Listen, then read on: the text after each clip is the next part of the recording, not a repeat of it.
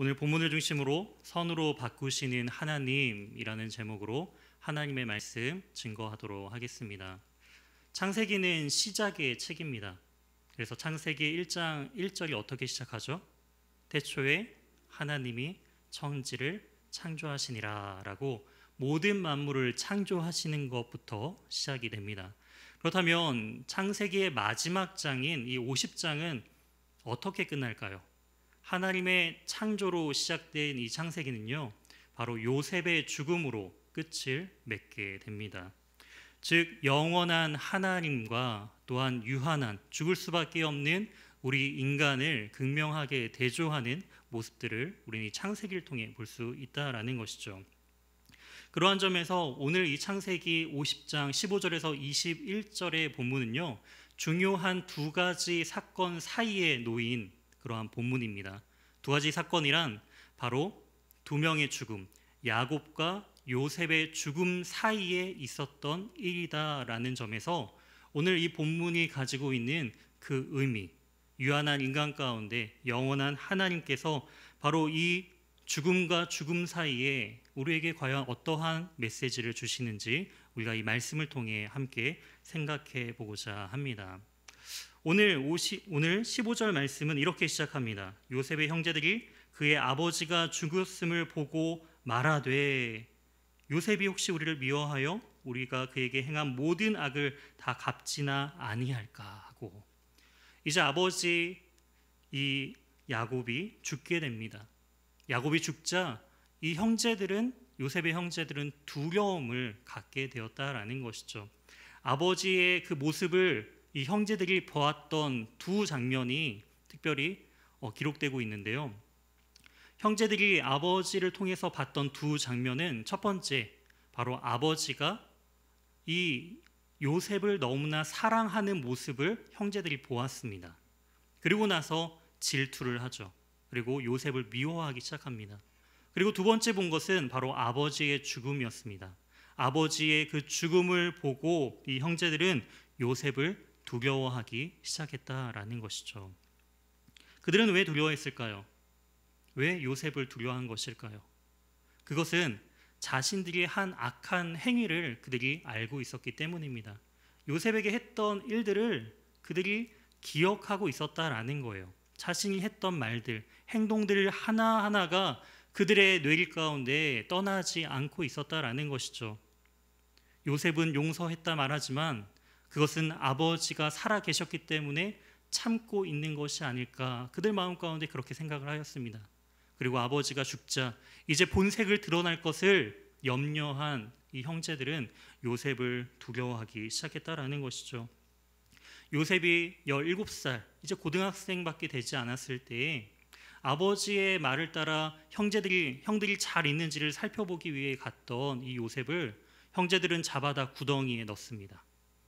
그리고 이 요셉을 어떻게 죽일까 상의하기 시작합니다. 옆에 있던 유다는 말합니다. 그러지 말고 우리가 팔자. 이 말에 과연 형제들 안에서 할 수 있는 말인가라는 생각이 들 정도로 이 요셉은 굉장히 충격적인 사건을 경험하게 된다라는 것이죠. 그리고 마침 지나갔던 미디안 상인들에게 은 20, 종의 값으로 팔리는 모습들을 볼 수가 있습니다. 오늘날에도 이러한 일들이 벌어진다라고 한다면 뉴스에 대서특필될 정도로 커다란 사건임을 우리는 알 수가 있습니다. 요셉에게 너가 이제 국립총리가 될 거야. 그것을 기대하면서 유학을 보낸 길도 아니었어요. 요셉을 이 미디안 상인들에게 팔을 통하여서 요셉은 13년 동안이나 종으로서의 삶을 살아가게 되었다라는 것이죠. 인권도 보장받지 못하는 끔찍한 그러한 삶을 살게 되었다라는 것입니다. 요셉은 어떠한 마음이었을까요? 구덩이에 갇혔을 때 그 창세기 37장에서 이 요셉은 아무 말도 하지 않는 것처럼 등장합니다. 하지만 형제들을 만났을 때 다시금 만났을 때 그 형제들의 고백을 통해서 요셉이 어떻게 반응했는지를 우리가 추측해 볼 수가 있는데요. 창세기 42장 21절 말씀 우리 함께 합독하여 함께 읽도록 하겠습니다. 그들이 서로 말하되 우리가 아우의 일로 말미암아 범죄하였도다. 그가 우리에게 애걸할 때에 그의 마음이 괴로움을 보고도 듣지 아니하였으므로 그 괴로움이 우리에게 임하도다. 애걸복걸했다라는 거예요. 그 구덩이 안에서 살려달라고 자신을 팔지 말아달라고 다시금 그 집에 돌아가고 싶다고 그렇게 애걸복걸하던 그 요셉의 모습을 그들은 외면하였습니다. 그리고 이제는 그들을 다시 보지 않도록 미디안 상인들에게 팔고 아버지에게는 요셉이 짐승들에게 잡혀 죽었다라고 거짓말하는 완전 범죄를 꿈꾸었죠. 그들이 형제들이 이러한 고백들을 하고 있는 거예요. 그렇기 때문에 이제 아버지가 죽은 야곱이 죽었기 때문에 더 이상 자신들을 보호해 줄 사람이 없다라고 느낀 이 형제들은 요셉에게 두려움을 느꼈던 것입니다. 그리고 요셉에게 그 형제들이 직접 가는 것도 두려운 거예요. 그래서 사람을 먼저 보냅니다. 그래서 요셉에게 말을 전하죠. 어떻게요? 당신의 아버지가 돌아가시기 전에 이른 말을 기억하라라고 그렇게 전합니다. 그 형제들을 용서해 달라라는 그 아버지의 말을 기억해 달라라는 간절한 부탁을 직접 가지도 못하고 사람을 먼저 보내서 그 자신들의 생각을 전하는 이 형제들의 모습을 볼 수가 있습니다. 이러한 모습은 창세기 32장과 33장에서 아버지였던 야곱이 형 에서를 만날 때 이러한 방법을 사용했죠. 자신들보다 종들을 먼저 보내고 선물들을 먼저 보내면서 형의 그 상황들을 이렇게 바라보았던 하지만 어떻게 하죠? 400명을 이끌고 지금 나왔을 때 또한 야곱은 두려움을 느꼈잖아요. 그 형제들도 바로 이러한 두려움을 가지고 사람들을 먼저 보낸 것입니다. 그때 17절 말씀처럼 아버지의 말이 이렇다고 해요. 요셉에게 이르라 내 형들이 내게 악을 행하였을지라도 이제 바라건대 그들의 허물과 죄를 용서하라 하셨나니 여러분이라면 용서할 수 있을까요?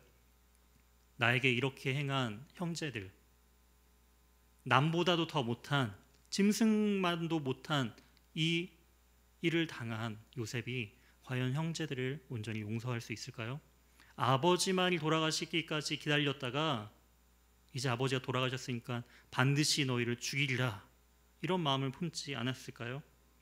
하지만 요셉의 반응은 전혀 우리의 생각과 다르게 반응한 것을 볼 수가 있습니다. 다시 17절 하반절 말씀을 보시게 되면은 요셉이 그들이 그에게 하는 말을 들을 때에 어떻게 반응하죠? 울었더라. 눈물을 흘리는 거예요, 눈물을. 형제들이 이 말을 할 때 울었다라는 것입니다. 요셉은 왜 울었을까요? 요셉의 눈물의 그 의미는 무엇일까요? 이미 창세기 45장에서 요셉은 자신을 밝히고 드러내면서 형제들에게 이제 내가 하나님의 뜻을 깨달았다. 그리고 하나님께서 나를 통하여서 우리 민족을 구원하시기 위하여 나를 먼저 보냈기 때문에 당신들은 두려워하지 말라고 그리고 내가 당신들을 용서하겠다라고 이야기를 합니다. 그리고 나서 17년이라는 시간이 또 지난 거예요. 애굽에서 형제들을 다시금 애굽에 초대해서 이제 애굽에서 정착하면서 17년이라는 시간을 함께 살았어요. 그런데 여전히 형제들은요 17년간 두려워했다라는 것입니다. 17년간 아버지가 돌아가시면 이제 죽을 건데 그 시간들을 손꼽으면서 그들은 두려워하고 있었다라는 것이죠. 또한 요셉은 왜 눈물을 흘렸을까요? 창세기 45장에서 요셉은 형제들을 용서한다라고 말을 했지만 반대로 형제들은 요셉에게 자신의 잘못들을 용서를 구한 적이 없습니다. 마태복음 5장 23절과 24절은 이렇게 기록되어 있습니다. 그러므로 예물을 제단에 드리려다가 거기서 내 형제들에게 원망 들을 만한 일이 일이 있고, 있는 것이 생각나거든 재물을 제단 앞에 두고 먼저 가서 형제와 화목하고 그 후에 와서 예물을 드리라. 하나님 앞에 예물을 드리기 위해 나가는 예배자가 만약에 이웃에게 잘못한 것이 생각나면 어떻게 해야 된다고요? 먼저 화해를 청하고 하나님 앞에 나아가야 된다라는 것이죠. 그러한 점에 있어서 이 형제들은요. 요셉에게 먼저 화해를 청하거나 자신의 잘못들을 용서를 구하지 않았다라는 것이죠. 그런데 지금 이 본문에서 형제들은 요셉에게 잘못을 지금 이야기하는 거예요. 우리가 잘못했습니다. 우리는 당신의 종입니다라고 이야기하면서 요셉은 형제들에게 자신이 잘못했다고 자신들이 정말 미안하다고 잘못했다고 지금 사죄를 하고 있다라는 것이죠. 요셉은 이 두 가지 마음이 공존했을 거예요. 이미 용서했지만 그 용서를 받아들이지 못하고 늘 불안한 가운데 살았던 그 형제들을 보면서 긍휼의 마음을 가졌을 것입니다. 또 한편으로는 온전한 진정으로 진심 어린 사과를 들었을 때 이미 용서했다 말하 였지만 마음 한켠에 응어리졌던 그 마음들이 풀어지면서 아마도 이러한 눈물을 흘리지 않았을까요? 이처럼 하나님의 뜻과 계획을 안 요셉은요, 이 형제들을 용서했어요. 하나님의 은혜로, 하나님의 사랑으로 용서하였죠. 하지만 이 형제 간의 진정한 화해는요, 진실된 잘못을 고백하였을 때, 그리고 그 부분들이 해결되었을 때 온전히 일어나는 것을 또한 볼 수가 있습니다. 이제 사람을 먼저 보냈던 이 형제들이 친히 요셉에게 나오는 모습을 18절 말씀을 통해 볼 수가 있습니다. 그들은 이제 친히 와서 요셉 앞에 엎드립니다. 그리고 말하죠. 우리는 당신의 종들이니이다. 동등한 위치가 아니라 종의 위치로서 낮은 자세로 그에게 용서를 구하고 있다라는 것입니다. 요셉은 그 형제들에게 말하죠. 두려워하지 말라고요. 그러면서 이런 말을 또한 19절에 이렇게 말을 하고 있습니다. 19절 말씀 함께 살펴보도록 하겠습니다. 요셉이 그들에게 이르되 두려워하지 마소서 내가 하나님을 대신하리까. 어, 이 말은 뭔가 이게 뒤에 뭔가 이게 뉘앙스가 뭔가 담겨져 있는 것 같아요. 두려워하지 마세요. 근데 내가 하나님을 대신하진 않아요. 이 말은 무엇이죠? 꼭 하나님께서 당신들을 심판하실 거예요. 그러니까 내가 하나님을 대, 하나님을 대신하여 내가 심판하지는 않을 거예요라는 그러한 느낌처럼 들리기도 합니다. 그런데요, 이 말을 그 야곱이 자신의 아내 라헬에게 했던 이야기와 동일합니다. 창세기 30장 2절 말씀 함께 읽도록 하겠습니다. 시작. 야곱이 라헬에게 성을 내어 이르되 그대를 임신하지 못하게 하시는 이는 하나님이시니 내가 하나님을 대신하겠느냐. 지금 이 말이 야곱이 라헬에게 한 말처럼 이 요셉이 형제들에게 이런 말을 할 때 내가 하나님을 대신하겠느냐라는 말을 할 때 그 의미는 어떠한 의미죠? 그것은 바로 생명의 주관자는 내가 아니라 하나님이시다라는 고백이에요. 아이를 잉태하는 것 하나님의 역할이죠. 하나님께서 하시는 능력인 것이죠. 그리고 이 형제들의 생명을 좌지우지하는 것은 내가 아니라 하나님이시다라는 생명의 주관자 되시는 하나님을 지금 바라보도록 하는 것을 볼 수가 있습니다. 이 말을 통해서 요셉이 강조하는 것은 형제들에게 나를 두려워하지 말고 나를 바라보는 것이 아니라 하나님을 두려워하고 하나님을 바라보라라는 그 부분들을 지금 강조하고 있는 거예요. 요셉은 자신의 자신을 향한 그 시선을 하나님께로 돌리고 있는 그 과정 가운데 있다라는 것을 우리는 이 말씀을 통해 알 수가 있습니다. 요셉은 자신이 가지고 있는 이 권력의 한계를 분명히 알고 있었어요. 자신의 권력과 능력은 영원하지 않다라는 거예요. 자신도 죽게 되면 자신의 모든 권력은 아무것도 아닌 것 같은 물거품과도 같은 자신은 유한한 존재다라는 사실을 요셉은 알았다라는 것입니다. 그렇기 때문에 형제들에게 말을 하는 거예요. 나를 두려워하는 것이 아닌 하나님을 두려워하고 우리가 대신할 수 없는 그 영원한 하나님을 바라보십시오. 요셉은 형제들에게 하나님을 주목할 것을 요청하고 있는 것입니다. 그리고 요셉은 말하는 거 20절에 당신들은 나를 해하려 하였으나 하나님은 그것을 선으로 바꾸사 오늘과 같이 많은 백성의 생명을 구원하게 하시려 하셨나니 요셉은 악을 악으로 갚지 않았습니다. 왜냐하면 악을 선으로 갚으시는 하나님을 그의 삶으로 너무나 많이 경험했기 때문이에요. 요셉은 형들에게 버림받았죠. 죽임, 당할 뻔합니다. 애굽으로 팔려가게 되죠. 또 어떤 일들이 당하나요? 애굽으로 팔려가서 열심히 노력했어요. 인정받았어요. 그 가정의 가정의 총무가 되었습니다. 하지만 거기서 또 모함을 당하죠. 보디발의 아내를 통하여 모함을 당해서 감옥 가는 인생을 살게 되었다라는 거예요. 그 안에서도 이 요셉은 포기하지 않고 열심히 그 안에서도 하나님의 영광을 나타나기 위하여 열심히 하루하루를 살았습니다. 그리고 인정받았어요. 그리고 술 맡은 관원장에게 그 꿈을 해석해 주면서 절망 가운데 좌절하고 있던 그에게 새로운 희망을 줍니다. 그리고 당신이 복직될 때에 나를 기억하여 주시옵소서라고 간절하게 부탁해요. 하지만 복직되었던 그 술 맡은 관원장은 요셉을 잊어버립니다. 참 기구한 인생을 살았어요, 요셉은. 평생 인생에 있어서 한 번 겪기도 힘들 일들을 요셉은 지속적이고 반복적으로 겪었다라는 것이죠. 이렇게 너무나 힘든 인생을 살았던 이 요셉. 하지만 요셉이 경험한 하나님은 어떤 하나님이었을까요? 우리 창세기 39장 23절 말씀 우리 한 목소리를 읽도록 하겠습니다.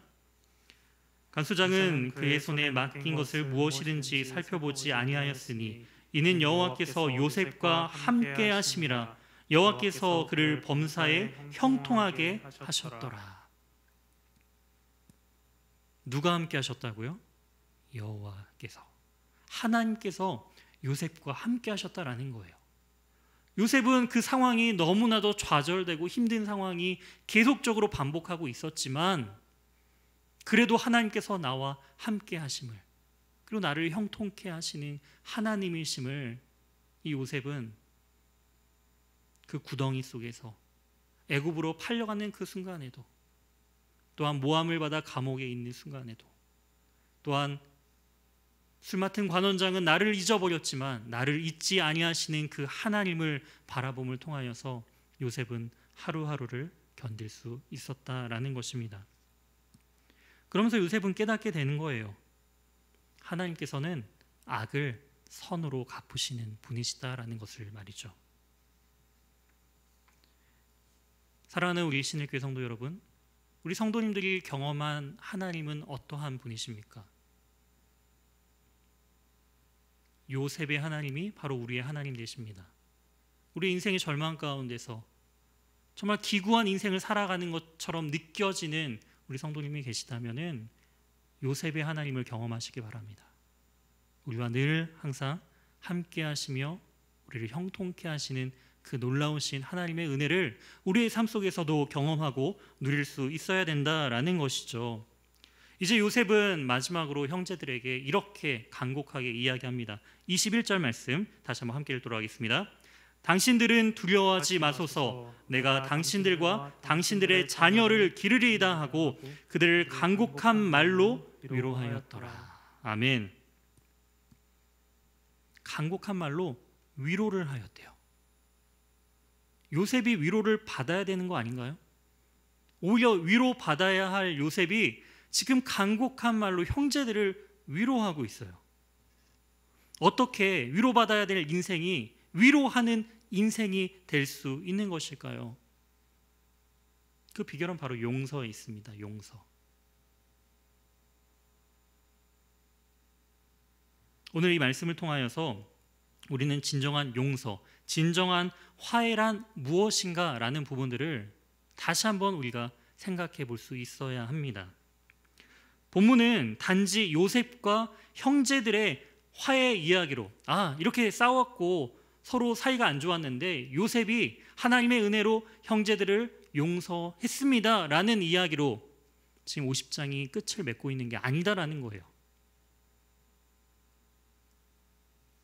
요셉과 형제들의 이 화해 이야기는 창세기 전체적으로 보았을 때 어떠한 의미가 있는가라는 것을 우리는 살펴볼 수 있어야 합니다. 바로 이것은 죄의 본질의 문제를 어떻게 해결해야 하는가라는 그 문제와 연결되어 있다라는 것을 우리는 기억해야 합니다. 형제 간의 다툼의 문제는 요셉 이전에도 일어납니다. 아버지였던 야곱과 또한 에서의 다툼, 장자의 문제를 통하여서 결국에는 함께 지내지 못하고 삼촌 라반의 집으로 도망갈 수밖에 없었던 형제 간의 다툼의 문제가 또한 야곱과 에서 사이에 있었고요. 이삭과 이스마엘 사이에도 이 이스마엘이 또한 이삭을 조롱함, 조롱함을 통하여서 함께 지내지 못하게 됩니다. 또한 아브라함과 조카 롯 사이에서도 자신들의 소유가 많음을 통하여서 함께 지내지 못하게 되는 그러한 모습들을 볼 수가 있죠.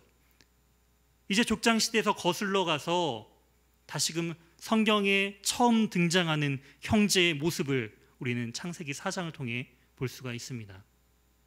누구의 이야기죠? 그렇죠. 가인과 아벨의 이야기입니다. 형이 동생을 죽이는 사건. 죄가 드디어 생명을 죽이는 데까지 나아간 그 사건. 거기까지 거슬러 올라가고 있다라는 것이죠. 그래서 가인은 유리하는 자가 되는 거예요. 정착하지 못하고 유리하는 자. 이제 다시 한번 거슬러 올라갑시다. 어떤 문제까지 올라가나요? 바로 하나님과 아담의 문제까지 올라가게 되는 것입니다. 아담의 죄로 인하여서 아담은 에덴 동산에서 쫓겨나게 되었죠. 결국은 이 창세기의 죄의 문제로 인해서 하나님과 아담으로부터 시작된 그 깨어짐이 어떻게 계속적으로 반복적으로 지속적으로 하나님의 이 공동체 가운데 형제들 가운데 가족들 가운데 나타나는지를 우리에게 보여주고 있는 것입니다. 바로 이 핵심은 죄의 기원이다라는 것이죠.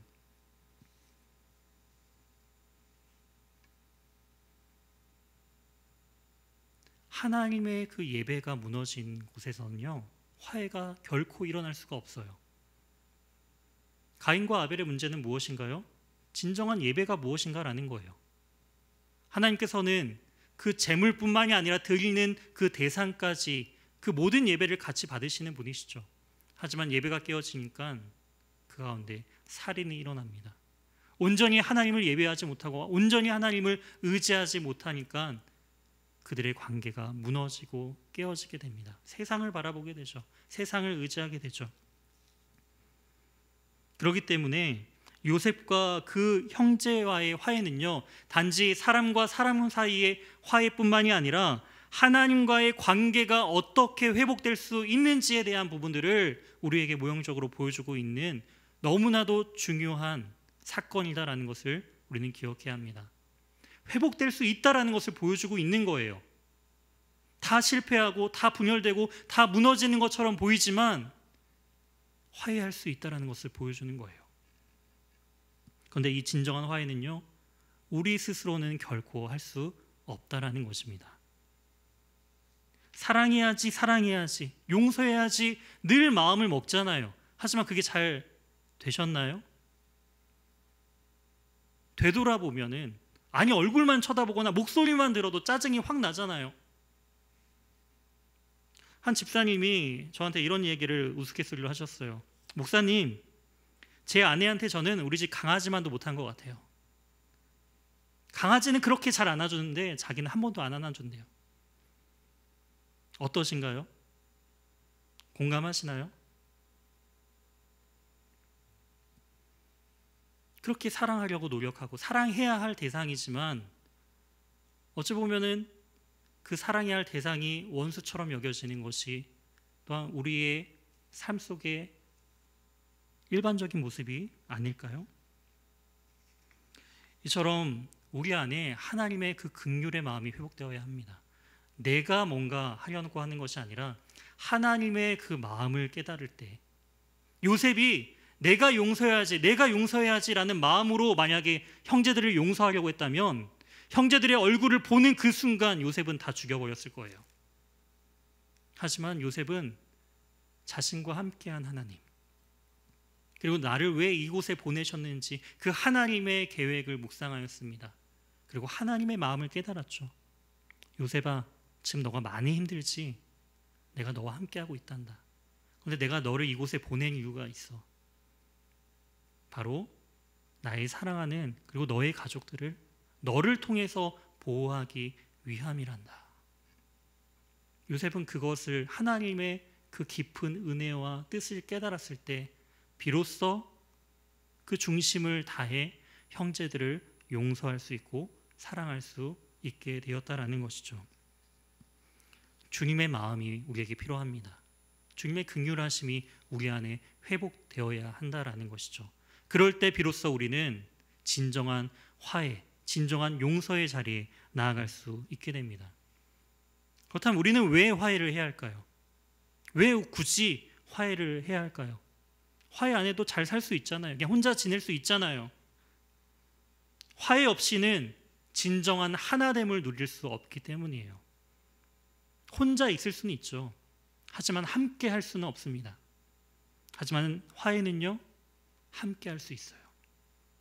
주님께서는 그 함께함을 위하여서 대가를 지불하셨어요. 어떤 대가요? 에베소서 2장 14절 말씀입니다. 함께 읽도록 하겠습니다.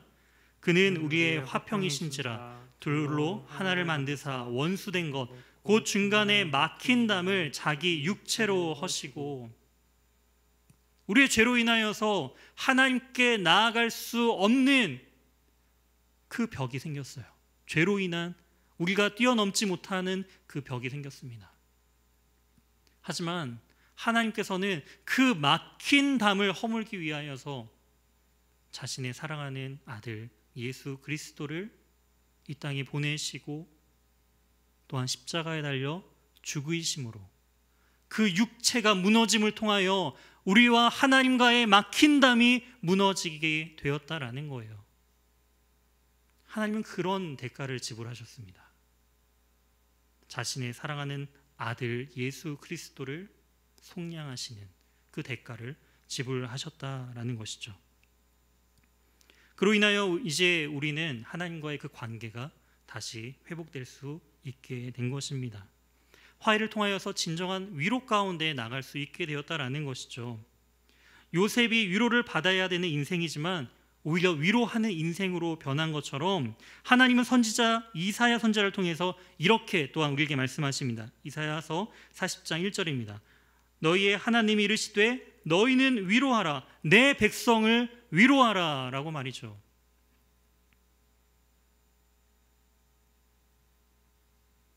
이스라엘은 이스라엘 죄로 말미암아 그들이 당하는 고난은 당연한 결과였습니다. 당연한 심판이었죠. 하지만 그 심판 가운데 있는 그 백성을 바라보시면서 하나님은 말씀하시는 거예요. 내 백성을 위로하라라고요. 위로 받아야 할 분이 위로하고 계시는 거예요. 그렇게 모든 사랑을 부어 주셨고 하나님의 신실한 약속을 하셨지만 여전히 죄 가운데 있는 자신을 떠난 그 이스라엘을 심판하시면서 하나님은 아파하시는 거예요. 그리고 위로하라고 다시금 돌아올 수 있도록 위로하라고 계속 선지자들 보내시는 거예요. 하나님의 사람들을 보내시는 거예요. 그렇게도 안 들으니까 예수 그리스도를 보내신 거예요.